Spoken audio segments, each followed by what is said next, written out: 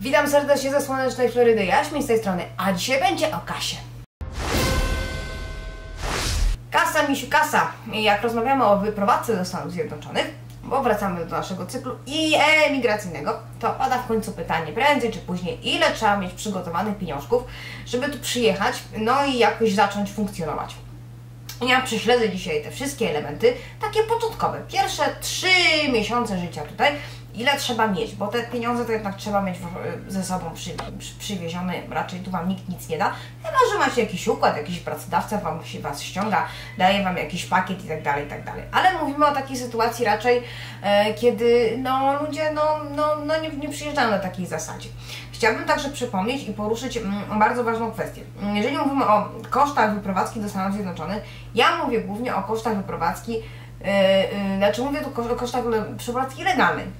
Czyli zakładamy, że macie zieloną kartę, albo macie wizę studencką nawet, albo macie wizę pracowniczą, czyli już, yy, już papiery jak w, w jakimś tam stopniu są załatwione, tak? Tylko przyjeżdżamy, teraz już się wiemy, że przyjedziemy i ile trzeba zabrać. No, dużo. E, ja prześledzę wszystkie elementy, zaraz zobaczycie czemu dużo. Więc na samym początku, jak przyjedziecie do Stanów, znaczy tak, mm, e, no musicie kupić bilet. No to bilet, y, mm, jak, jak się dobrze postaracie, no to jest tam 2000, no nie 2000 zł, może mniej, no ale no w jedną stronę to czasami są droższe niż w, w dwie. Mm, To po prostu w zależności od tego, jak tam, jak tam funkcjonujecie, to sobie taki bilet kupicie. E, Pada często pytanie, co zrobić z bagażem? Bo jak się wyprowadzamy do Stanów, a czy w ogóle się wyprowadzamy, no to raczej bagaż będziemy mieć y, spory. Ja powiem w ten sposób, jeżeli chodzi o zabieranie rzeczy z Polski. mm, przemyślcie, czy to, co chcecie spakować, to w ogóle jest sens to tu przywozić. Bo y, przywożenie garnków, kołdry, poduszek, nie wiem, mebli, zakładając, że nie jest to jakaś tam, e, e, jakaś tam specjalna szafka antyczna po babci, z której się nie, z którą się nie możecie rozstać, która jest bezcenna w zupełnie innym znaczeniu, e, to nie ma sensu. To lepiej to sprzedać. Elektronika. Elektronika cała w większości przypadków po pierwsze jest tu tańsza, a po drugie na dobrą sprawę będzie, e, no będziecie mieć problem, jakieś wtyczki, jakieś przełączniki, jakieś duperele, niektóre, cała część elektroniki może nie działać, bo jest inne napięcie, więc lepiej sobie to spuścić, naprawdę. E, e, Książki, no bo książ, książki oczywiście tak, jak najbardziej, ale na pewno będzie, będą jakieś takie rzeczy, że, że, że będziecie się zastanawiać, czy to wziąć, czy nie wziąć. Ja Wam radzę po prostu lepiej sprzedać to w Polsce, e, rowery, samochodu w ogóle nie brać, już w ogóle wbijcie sobie z głowy, ale mm, jakieś, jakieś tego typu rzeczy, które, y, które na przykład dla Was mogą mieć jakąś wartość i, i lubicie te, te, te elementy, ale niestety emigracja polega na tym, że trzeba będzie bardzo, bardzo dużo rzeczy, trzeba się z nich ich pozbyć. Trzeba się pozbyć niestety z bólem serca. Ja musiałam sprzedać bardzo dużo książek swoich, bo nie byłam w stanie tego zabrać, nie byłam w stanie tego nigdzie przerzucić gdzieś, żeby gdzieś leżały tam po rodzinie. Yy, nie chciałam ich wrzucać do żadnego piwnicy, ani strychu, ani nic takiego i po prostu z bólem serca musiałam to sprzedać i niestety emigracja polega właśnie na tym, że bardzo dużo się poświęca. Więc musicie sobie zrobić taki naprawdę taki rachunek pod tym, co trzeba sprzedać, co można sprzedać, co powinno się sprzedać i ja mówię całe urządzenie domu, chyba, że mówię tam są jakieś elementy takie na przykład, nie wiem, jakiś obrazek czy coś tam, czy, czy właśnie jakiś tam, nie wiem, super cenny talerz, czy łyżka po prababci, no nie wiem, chochla po dziadku, no, no to wiadomo, to się pakuje, bo to są pamiątki rodzinne. Ale y, wszystko inne to tutaj po prostu na miejscu, dlatego że y, z różnych powodów, nawet, nawet mm, pościel może Wam je pasować. Znaczy kołdrę można wziąć, jak się znowu jakaś super droga, no ale no bez przesadyzmu. Więc, yy, więc wylot od razu to będzie nadbagaż. Yy, Co z tym nadbagażem? Można po prostu kupić oczywiście droższy bilet, mieć więcej tego tam, e, więcej tam możliwości. Jak to jak kogoś stać, no to może. Albo może po prostu to, yy, co z, tym, jak te rzeczy przewieźć, no to można albo wysłać pocztą. Można wysłać pocztą. Jest nawet taka, taki specjalny serwis, który funkcjonuje, to się chyba Polamer nazywa. E, taki specjalny serwis, który wysyła paczki do Stanów i ze Stanów do Polski i z Polski do Stanów. To jest polska firma. Yy, albo można, yy, jeżeli ma się tych rzeczy naprawdę dużo, yy, no to można wynająć kontener, o- który będzie płynął statkiem. E, nie wiem, jakie są koszty, bo próbowałam zrobić taki research w momencie, kiedy, kiedy się przygotowywałam do tego, żeby Wam to wszystko powiedzieć i koszt był między tam od 500 do 1000, 2000 dolarów. Tylko jak mówię, no to, to dostajecie kontener, tam chyba, nie wiem, czy trzeba pojechać do Gdańska, czy do Gdyni, bo to po prostu, no to, to, to morzem idzie, nie? To musielibyście się zorientować. E, ja, ja z tego nigdy nie korzystałam, ale wiem, że jest taka możliwość, żeby zapakować jakieś tam swoje rzeczy. I to już jest kilka tysięcy dolarów pewnie. To są bilety i to jest ten kontener, przesłanie rzeczy. Nieważne, nieważne czy prześlecie to tak czy inaczej, po prostu będzie to Was kosztować jakieś tam pieniądze. Nawet jakbyście to paczkami. Chyba, że bardzo skromnie się spakujecie, spakujecie tylko ciuchy. Ciuchy radzę wziąć tylko wyłącznie e, takie, które są już, które są w dobrej, w dobrej kondycji czyli po prostu e, rozdać, wynieść to, co się tak średnio nosi i tak dalej, i tak dalej. Po prostu tutaj ciuchy są w miarę tanie, a po drugie yy, kupicie sobie tak w zależności od tego, gdzie będziecie, to coś, co będzie bardziej pasowało do e, pogody bądź do, do warunków atmosferycznych, w których jesteście. E, więc jak mówię, z, z głową się pakować, no ale przyjeżdżamy, i powiem Wam tak, yy, nie radzę, no jak przyjeżdżamy to wiadomo, że mieszkanie, ale nie radzę wynajmować mieszkania, chyba że ktoś naprawdę ma dużo kasy, ma jakichś agentów, to może popłacić coś tam, się zorientować, jakichś znajomych. Yy, za, yy, wynajmować mieszkania, jak się go nie widziało. Naprawdę nie radzę, bo to się może bardzo źle kończyć, mogą Was zrobić w trąbkę, mogą was, e, mogą was wyrolować finansowo, absolutnie żadnych pieniędzy, żadnych zadatków, nic nie robić. Moim niestety to podwyższa koszty, bo trzeba przyjechać i trzeba mieć kasę na motel albo hotel. W tym motelu i hotelu można czasami spędzić, trzeba będzie spędzić tydzień, dwa, trzy tygodnie nawet, w zależności od tego, jak tam wasza papierkologia będzie wyglądała. E, ile kosztuje hotel, motel? Ja, y, możecie sobie wrócić takiego odcinka o turystyce w Stanach Zjednoczonych, ja tam jakie są koszty hotelu, ale y, ja bym tak liczyła, tak, tak żeby z górką, 100 dolarów dziennie. To już 20 dni siedzimy w hotelu, załóżmy 20 dni, jest 2000 dolarów, nie ma, już poszły. Um, im, im, dlaczego mam 2000, dlaczego za 100 dolarów? Bo mówicie, a pewnie są jakieś tańsze. Oczywiście, że są tańsze, ale im, im dalej od centrum i dalej jakieś tam okolicy, to tym będzie taniej. I dalej. A jak już jest, y, no to w takim wypadku, jak się dostaniecie gdzie indziej? Mm, jeżeli mm, musicie mieć od razu samochód Oczywiście ja nie mówię o takich sytuacjach, jak, e, jak jesteście w Nowym Jorku czy w Chicago, ale w Nowym Jorku czy w Chicago to przede wszystkim raczej nie będziecie na Manhattanie mieszkać. Być może dojdziecie do tego etapu w swoim życiu, że będziecie bez problemu mogli sobie kupić mieszkanie przy Central Parku albo wynająć mieszkanie przy Central Parku, ale to są straszne pieniądze. To są pieniądze, których 99% Amerykanów nie stać. Um, więc więc prawdopodobnie gdzieś będziecie gdzieś tam mieszkać na obrzeżach. No jak są obrzeża, no to tam komunikacja miejska, no w większości przypadków ta obrzeżowa jest taka sobie. Um, jeszcze przy Nowym Jorku, co mówię, tam są kolejki, tam jest metro, tam, jest, tam jeszcze jest jakaś organizacja ale mm, y, no nie, nie każdy jedzie do Nowego Jorku. Ja Nowy Jork w ogóle odradzam jako start w Stanach Zjednoczonych, dlatego że jest strasznie drogi. Strasznie drogi, jest straszna konkurencja w pracy, mm, y, z tego tytułu, że jest bardzo dużo ludzi, jest, są stawki niższe, bo po prostu jest konkurencja, jest, y, pracodawca ma wybór, jest ciężko wynająć mieszkanie bez jakichś takich, bez jakiegoś takiego sytuacji, że ktoś że macie już jakieś doświadczenie, jakieś referencje w Stanach, więc Nowy Jork bardzo potrafi być y, y, niemiły dla przyjezdnych. Mm, szczególnie taki Nowy Jork, taki, takie centrum bardziej, tak, no bo jak tam pojedziecie gdzieś do Jersey, to może być inaczej. Więc y, wynajdziecie mm, hotel, motel, nieważne. Załóżmy, że wynajdziecie taki motel amerykański, no do niego trzeba się dostać. No to jak w takim wypadku trzeba wynająć samochód. Wynajęcie samochodu, można wynająć jakiś tam, jakiś taki, jakieś takie maleństwo za jakieś małe pieniądze.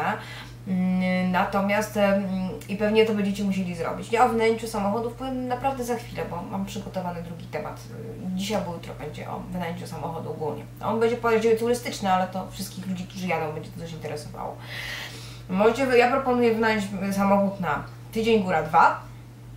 To jest moja dobra rada to może kosztować 1000 dolarów, może kosztować 2000 dolarów, widzicie, jak to już leci. Mamy bilety samolotowe i, i, i, i, i koszt przeprowadzki, liczmy 2000 dolarów. I to i tak jest mało. Um, hotel 2000, Yy, załóżmy tam samochód, no 1000 dolarów na, na dwa tygodnie, może się uda, 1000 dolarów, to już, już, już, zaczyna się robić poważna kwestia, bo to w tym momencie już dobiliśmy do, yy, no, do 5000, no to 20 tysięcy złotych. To jest taka, no, za chwilę dojdziemy do średniej rocznej pensji w Polsce. No jeszcze ją jeszcze przedobrzymy. Później trzeba ten samochód kupić. Ile trzeba, y, powiem tak, mm, samochody w Stanach się kupuje rzeczywiście, że bardzo ludzi bierze w leasingu, o tym też niedługo będzie. Leasingu Wam nikt nie da. Nie macie credit score.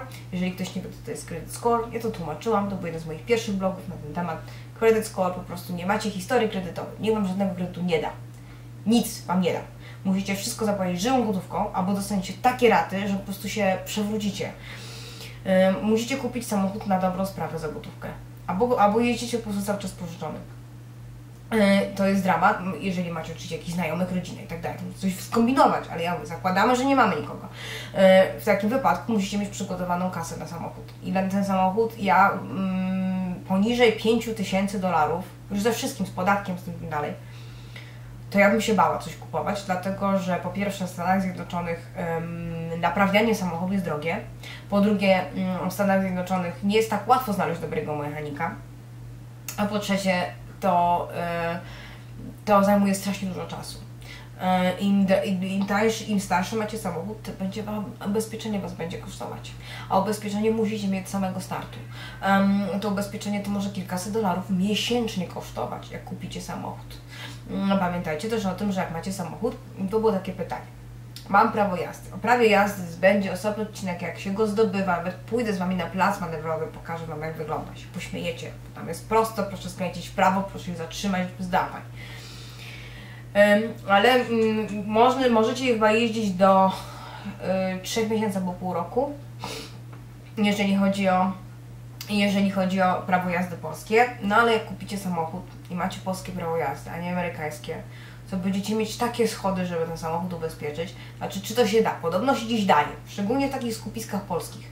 Gdzieś tam w Chicago, w New Jersey, e, tam e, nawet w Tampie chyba, gdzieś tam może Was ubezpieczą, ale e, będziecie musicie za to płacić straszne wrycowe. Ja bym, ja bym się raczej nie nastawiała na to, że znajdziecie firmę, która Was ubezpieczy na polskim prawo jazdy, tylko po prostu z wywieszonym językiem od razu robić prawo jazdy amerykańskie trzeba robić. Nie można wymienić. Niemcy mogą wymieniać, Kanadyjczycy mogą wymieniać, nawet Japończycy mogą wymieniać, że musimy robić od początku. To nie jest takie trudne, to nie jest takie skomplikowane, te testy są, nawet testy można po polsku zdawać. One są takim polskim, jakim polskim, ale yy, yy, to też trzeba po prostu przygotować się na to, że na, samą na sam start to będzie jedna z Waszych głównych rzeczy do roboty, to będzie zrobienie prawa jazdy. Bo później, później to zajmuje czas, pójdziecie do pracy, będziecie musicie jakieś dni wolne brać, więc od razu. Yy, to będzie kosztować no kilkaset dolarów. Musicie się przygotować, musicie się, e, musi, samo wydanie prawa jazdy coś tam kosztuje, te testy coś tam kosztują, więc ja liczę kilkaset dolarów, w zależności od stanu. Um, później go zakup tego samochodu, przynajmniej 5000 dolarów, no to żeby jak czymś jeździć.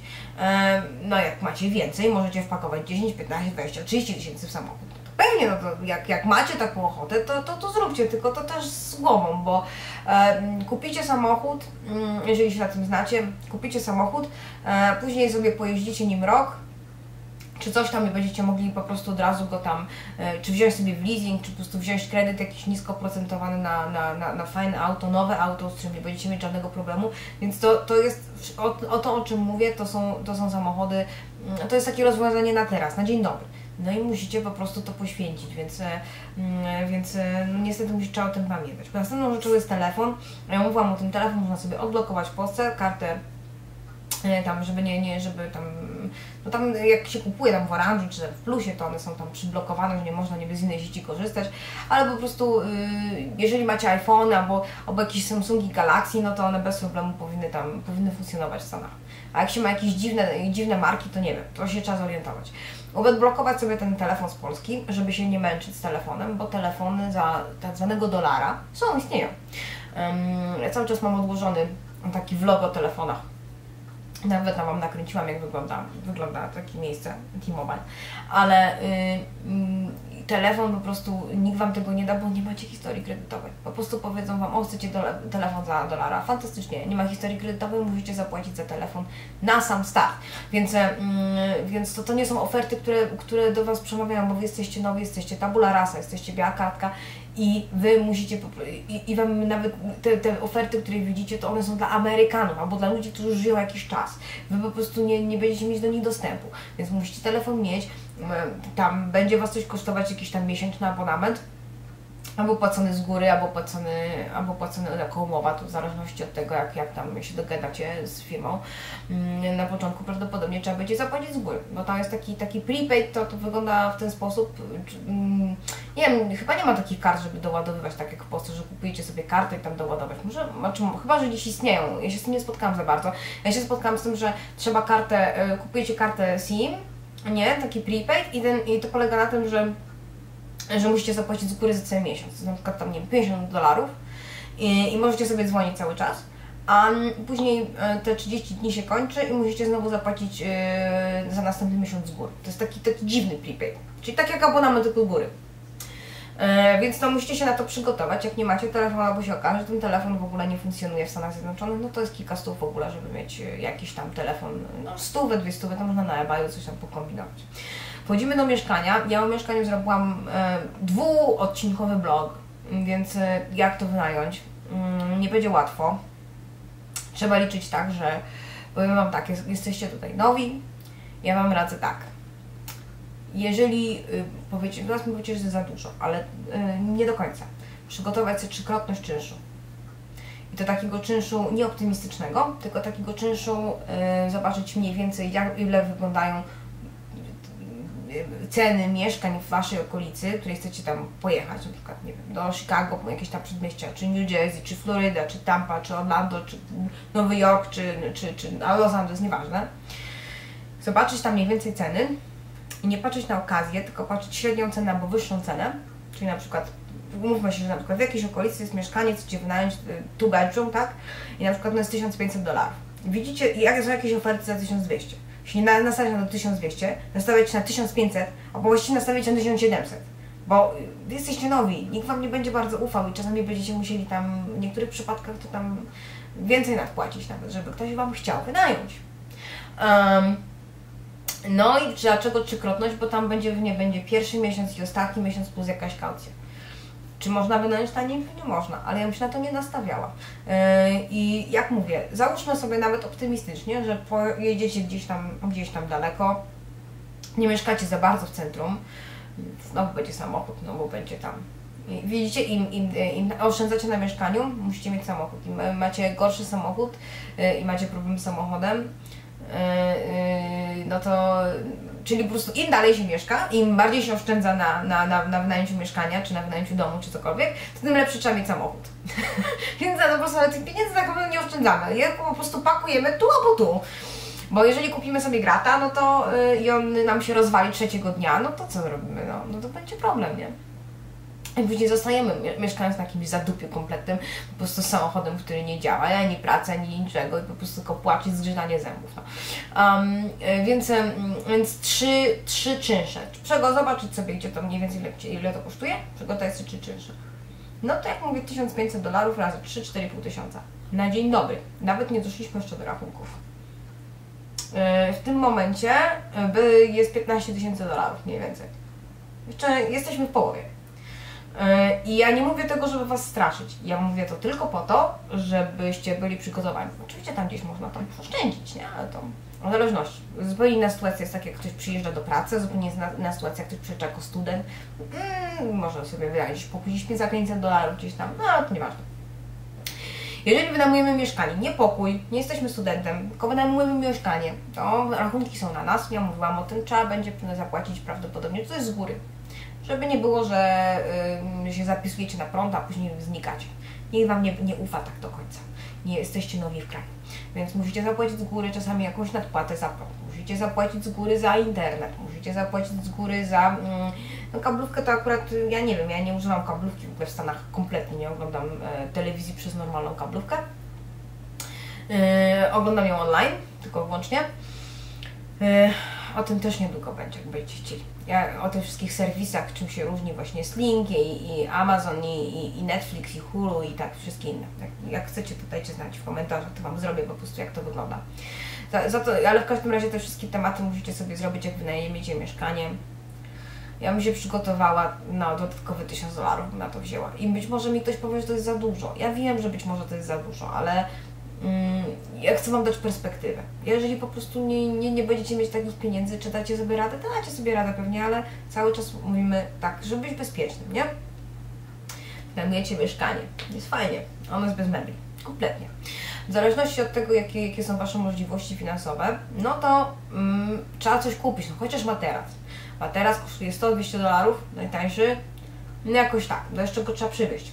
Jak nie kupiliście sobie samochodu pod tytułem e, pick-up, czyli półciężarówka, no to musicie za to zapłacić znowu. Um, i y, ja też nie mówię, że te meble to jest jakaś taka, jakiś warunek sine qua non, bo, bo, bo niekoniecznie, ale trzeba pamiętać o tym, że no jakieś meble musicie mieć. Ja mieszkałam przez, przez, przez pierwsze pół roku, to w ogóle ledwo co miałam. Jakieś tam biurka, coś tam, no biurko miałam, tak? Ale żeby na przykład mieć kanapę w salonie czy coś, to, to niekoniecznie, bo y, po prostu y, y, na samym początku będzie skromnie. Musicie mieć świadomość tego, że jak przyjdziecie, to po prostu na samym początku będziecie tak trochę, może nie biedować, ale będziecie obracać każdego dolara ze wszystkich stron cztery razy. Um, więc, ale musicie przygotować że jakieś meble, talerze. Przecież nikt Wam nie, nie myśli, że to kuchnia jest wyposażona. Kuchnia jest wyposażona kuchenkę, mikrofalę, zmywarkę i lodówkę. I tyle. Yy, nikt tam Wam nie, nie da raczej możecie. Są, są takie sklepy jakimiś używanymi rzeczami, tak? Jakiś thrift store to się tak nazywa. Takie, takie że tam, tam, tam jest wszystko, tam są używane i ciuchy, i jakieś meble i tak dalej, i tak dalej.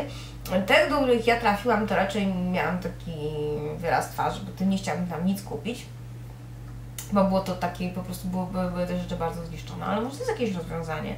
I też nie chodzi o to, żeby kupować cyganki w ogóle za 2000 dolarów, jakieś super, hiper w ogóle to same gotują, czy na przykład talerze w ogóle ze złotym rąbkiem, ale mm, no coś musicie kupić, tak? No ja zawsze mówiłam, grzecznie mówiłam, że no trzeba będzie, trzeba się zaprzyjaźnić z Ikea, dlatego, że Ikea to tutaj jest tanie, to są tanie meble.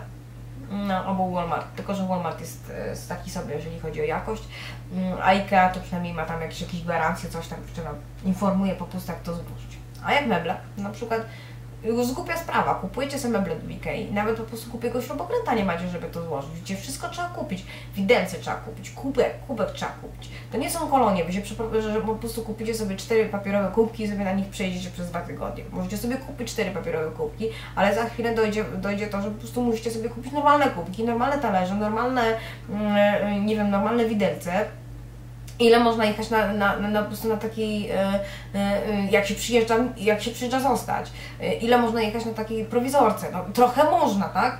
Oczywiście, natomiast no, musicie się przygotować, albo to po prostu te pieniądze ze sobą weźmiecie, albo je od razu zarobicie, um, a z tym zarabianiem to za chwilę, więc... Więc tak to wygląda kwestia urządzenia mieszkania, na to też trzeba by coś przygotować. Ja, ja no, do, dołóżcie sobie następny 1000 dolarów. Taki, taki wstępny 1000 dolarów na to, żeby się jakoś tam urządzić. I to tak jest skromnie, ale po prostu ten tysiąc dolarów tak, żeby sobie kupić jakieś biurko, jakieś łóżko, jakieś krzesło, jakiś kubek, e, e, takie podstawowe rzeczy. E, ktoś mi powie za 500 dolarów można, no pewnie można, no tylko, że ja mówię tysiąc, tysiąc w miarę bezpiecznie i tak skromnie. Ubezpieczenie zdrowotne jakieś będziecie musieli kupić, ale na dobrą sprawę mm, polecam jedną kwestię. Mm, rozmawialiśmy o ubezpieczeniach zdrowotnych w Stanach Zjednoczonych dla turystów. E, jest to takie ubezpieczenie w ogóle na rok.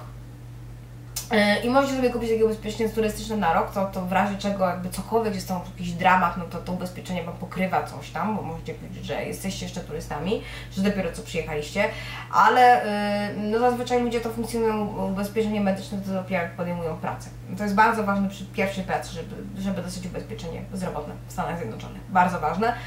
Ale tu się tak na, na nie przyjmujcie, pamiętajcie tylko o tym, żeby sobie kupić jakieś ubezpieczenie turystyczne. Nawet jak jedziecie zostać, to po prostu możecie kupić jakieś ubezpieczenie turystyczne e, na pierwsze kilka miesięcy. Żeby jak, jakby był jakikolwiek wypadek, żeby nie było problemu. Zęby sobie zrobić w Polsce, dentysta, strasznie drogi.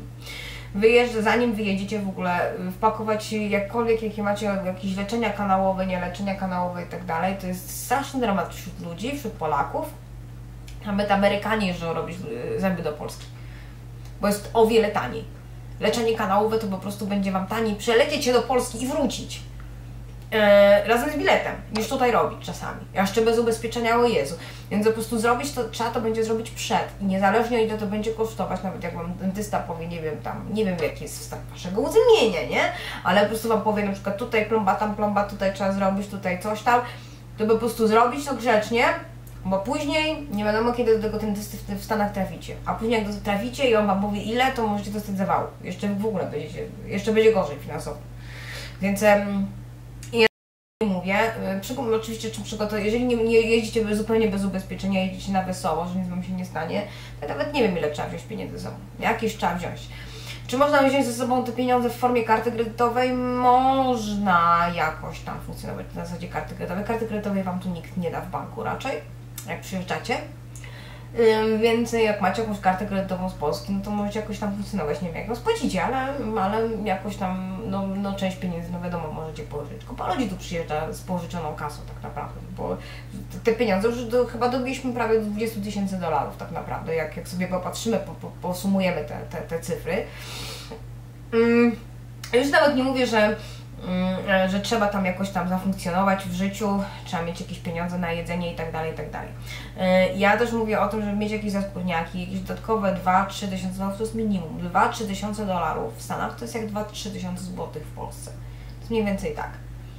Więc e, czy przyjechalibyście do Polski, zakładając, że nie znacie nikogo, nie, nie, ma, nie macie mieszkania, a musicie mieć samochód i tak dalej, nie mając ze sobą przynajmniej tam 10-15 tysięcy złotych, tak zupełnie na czysto, no, y, to musicie, musicie popatrzeć na to w ten sposób. Jeżeli mówię Wam truizmy, ja Was jest bardzo przepraszam, ale ja staram się wszystkich uczulić. Mm, przyjeżdżacie do kraju, gdzie nie macie znajomych, nikt Wam nie pomoże, nie ma babci Zosi, nie ma kolegi Zdziśka, do którego możecie pójść się przytulić, y, y, zjeść obiad, bo jesteście głodni, albo na przykład macie ochotę, do Was zabierze gdzieś tam na, na jakiegoś burgera czy na kebaba. No właśnie nie macie, jesteście zupełnie sami sobie czasami na tej emigracji i musicie być przygotowani na to finansowo. Jak najbardziej. Jeżeli i tak ktoś mówi, o tam 20 tysięcy dolarów to jest bardzo dużo, to jest bardzo dużo, bo zaraz jak się okaże na przykład, to po prostu wychodzi z tego są w ogóle trzyroczne pensje. I to jest bez sensu, bo zanim się człowiek zarobi na tę emigrację, to po prostu już sensownie jest zostać tutaj. Dlatego też, dlatego to właśnie to nie jest takie proste, yy, że czy, czy po prostu jest sens jechać z mniejszą gotówką. Tak, no ja znam oczywiście historię ludzi, którzy tu stanęli, w ogóle mieli 200 dolarów w kieszeni i dali sobie radę. No pewnie, szczególnie młodzi, młodzi faceci gdzieś tam poszli, gdzieś się przespali, gdzieś tam u kumpla, gdzieś tam tutaj się, gdzieś się skitrali na, na, na ławce w parku, nie? Gdzieś tam podłapali jakąś pracę i ruszyło. Oczywiście, że, że pewnie są takie historie, natomiast czy to jest... Um, czy to jest sytuacja, w której chcielibyście się znaleźć i tak funkcjonować? Mi się wydaje, że chyba w takim wypadku wygodniej jest pojechać do Anglii, czy, czy do Szwecji, czy do, do Niemiec nawet po prostu, bo po prostu jest bezpieczniej i taniej i nie musicie tego przeżywać. I, bo, bo to jest mimo wszystko obcy kraj. I jak za każdym razem, jak mówię o pieniądzach, to dostaję takie komentarze, że o Jezu, jakie to drogie i że ja zniechęcam, jestem negatywna. Nie jestem negatywna, ja uważam, że ten kraj jest piękny, ja uważam, że po prostu warto do niego przyjechać, ale trzeba być przygotowanym finansowo.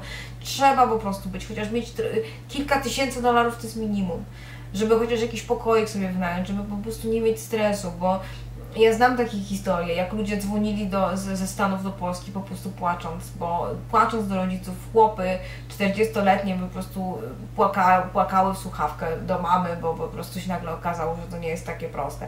I y, ja znam tak, takie historie z własnej z własnego doświadczenia widziałam, przez co przechodzili niektórzy moi znajomi polscy w Stanach, którzy przyjechali z takim hura optymizmem, bez żadnej kasy, albo z bardzo minimalną kasą. Po prostu wzięli sobie, wymienili ostatnią pensję na dolary i później był problem, bo to nawet y, wrócić nie za bardzo jest jak, y, bo nie ma kasy na bilet, y, nie za, troszeczkę też rodzina pożyczyła, coś tam zainwestowała i, i właściwie nie wiadomo co zrobić, bo się czuje taką presję, żeby tutaj jakoś tam sobie zorganizować życie, a jest problem i ja nie chciałabym, żebyście mnie źle odebrali, że ja Was straszę. Ja Was nie straszę, ja Wam mówię jak jest. Y, y, oczywiście, że można prawdopodobnie przeoszczędzić. Pojedziecie do jakiegoś miasteczka w Tennessee w ogóle między, między jedną jednym po prostu salonem, a drugim, a drugim barem. No pewnie tak, no mnie tam tam życie będzie o wiele tańsze. Tam prawdopodobnie po prostu będziecie potrafili zorganizować w kilka tysięcy dolarów, ale z drugiej strony, jak będzie z pracą? Czy w takim miejscu po prostu znajdziecie pracę bardzo łatwo i przyjemnie? Czy to nie, czy to nie będzie po prostu dla Was jakikolwiek problem? Więc, więc to są te wszystkie plusy i minusy. Im większa metropolia, tym większa kasa. Niezależnie od tego, ile popatrzycie, to po prostu musicie coś mieć. Nawet jak sobie mm, porównamy, ja cały czas, mm, niektórzy ludzie mm, tak się z tego śmieją, ale y, jak przyjeżdżacie tutaj, musicie zapomnieć o czymś takim, że istnieje złotówka, y, bo y, to jest ta mania przeliczania. To chyba każdy emigrant ma. Przelicza, o Boże, to kosztuje 3 dolary, to jest tam, dolar jest tam za 3,80, to już tam zaokrąglmy do 4, o Jezu, 12 zł, Jezu, jak to jest drogo. Zapomnij o tym, zapomnijcie o tym, bo Was te złotówki już nie interesują. One interesują będą może najwyżej Waszą rodzinę, która będzie Wam dosyłać kasy, nie? I w takim wypadku po prostu, jeżeli stawiacie sobie 1 dolar do, do, do, do, do, do jednej złotówki, i tak, no to mm, no, telewizora za 200 zł nie kupicie w Polsce, tak, ani za 400. Smart TV. Ale mieszkanie 1500, prawda? E, e, bilet miesięczny tam powiedzmy 200, no to, to tak, to są takie koszty tutaj. I jak będziecie przeliczać na złotówki, to dostaniecie tylko w się depresji. Tak wszyscy przeliczają. Przez pierwsze trzy miesiące będziecie przeliczać, będziecie mieć w mózgu ten kantor, ale później się przyzwyczajicie. Tylko mm, w momencie przygotowania się finansowego musicie myśleć tymi realiami, które tutaj są. Mm, ja także zawsze mówiłam, jeżeli chcecie się prowadzić do Stanów Zjednoczonych, przyjedźcie tutaj chociaż na dwa tygodnie. Zorganizujcie sobie to jakoś tak, żeby po prostu nie jechać tu kompletnie w ciemno, żeby przyjść, bo wiele ludzi, z którymi ja rozmawiałam, nawet. E, e, rozmawiałam z sporą ilością ludzi, pomagałam trochę różnym, e, e, różnym ludziom wyprowadzić do Kanady. Miałam takie dobre serduszko i, i, mówiłam o emigracji, jak ja jeszcze byłam tam, e, jeszcze miałam większe pojęcie, jak to zrobić. I wszyscy mi mówili, a tam co tam w ogóle, tak dalej, tak dalej. Ja tam przy, przyjeżdżali w ciemno i nagle się okazywało, że mm, nagle odkrywali, że te ceny, o których ja im mówiłam, to są prawdziwe. Że ja sobie nie wymyślam tego z głowy, że po prostu, że, że, że, że nie wyciągam tego skądś, że, że tak naprawdę sobie tyle kosztuje i zrobienie mm, zakupów za 50 dolarów czyli powiedzmy na przeliczeniu 200 zł, tak, e, w sklepie, o, okazuje się, że jest ten problem, że to, że coś tam pewnie można przeżyć na jakichś zupkach chińskich i na, na ziemniakach z proszku, natomiast i na chlebie z dżemem, takim najprostszym, ale to nie jest funkcjonowanie, które, e, które, które, które Was interesuje, bo nagle się okazuje, że przyjeżdżacie, tak funkcjonujecie przez parę miesięcy i w ogóle ta cała migracja jest do dupy, bo, e, bo tak na dobrą sprawę, jaki był cel, zmienia sobie na gorsze a tu jeszcze jest stres, bo przecież jest język, y, ludzie czasami coś do Was mówią, czasami na pewno nie będziecie rozumieć, co do Was mówią, będą być albo w innym akcencie, albo slangiem, bo to jest bardzo dużo ludzi, która jest skądinąd, więc musicie się przyzwyczaić do akcentów. To nie jest, mm, to nie jest tak, że po prostu tu wszyscy mówią e, takim angielskim, jakim znacie z filmów, zadzwonicie do pierwszej, lepszej infolinii, która, która call center ma w Indiach i, i się bacie, bo nie rozumiecie po prostu połowy tego, co do Was mówią. Amerykanie też nie rozumieją.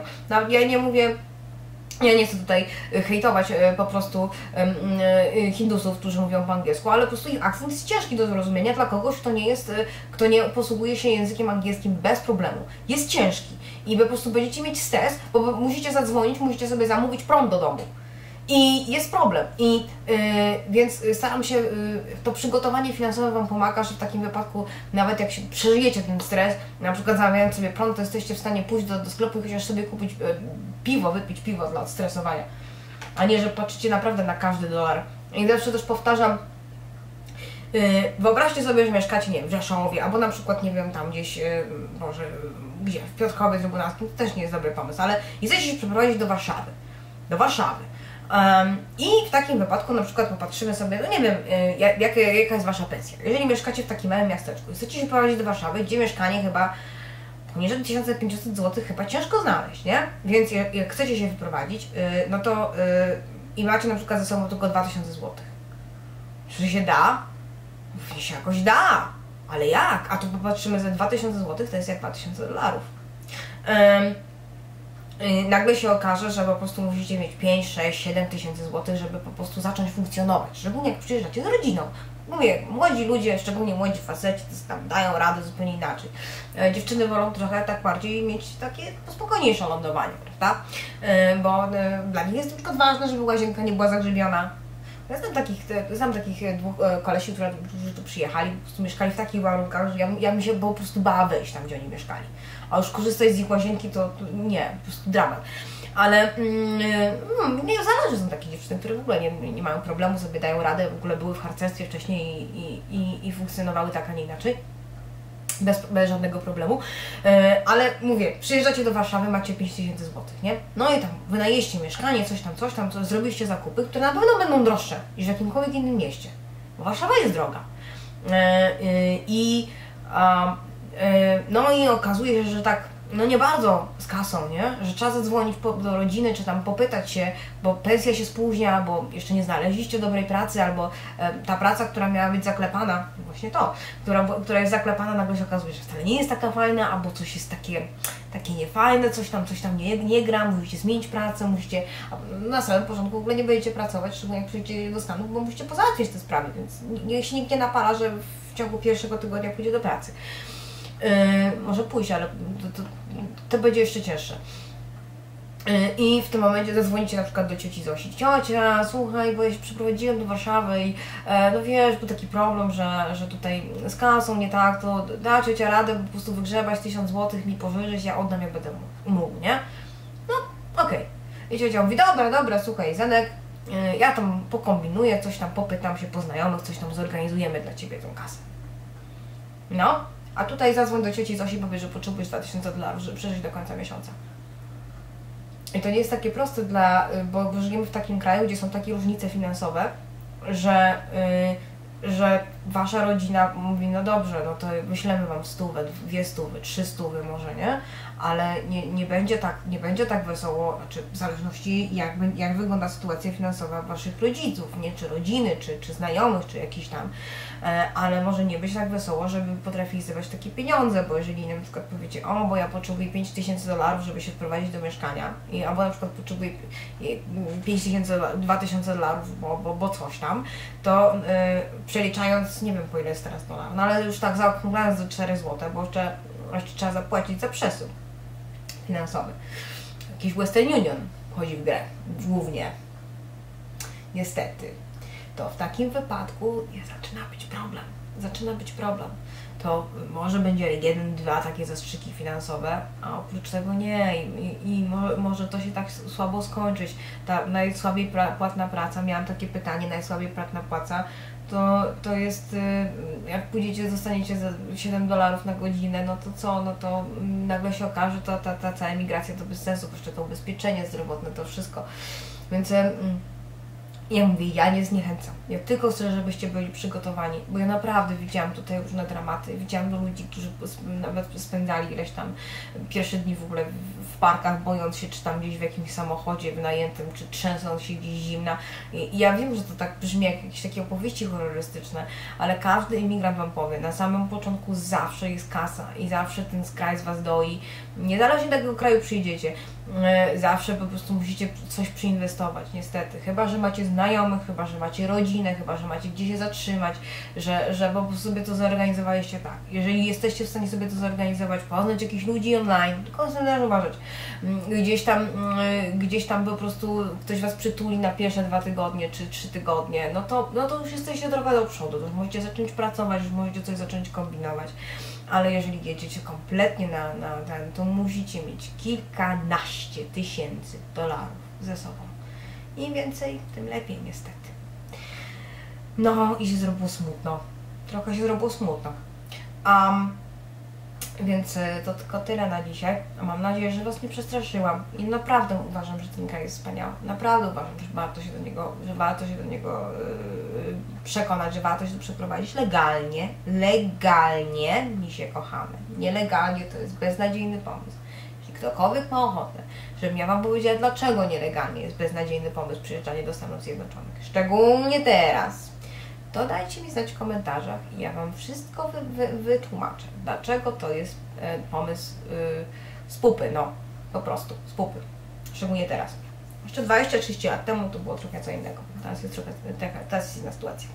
To wszystko na dzisiaj, życzę Wam miłego dzionka, mam nadzieję, że mi się podobało, mimo że po prostu informacje prawdopodobnie z ciężkim sercem żeście przyjęli.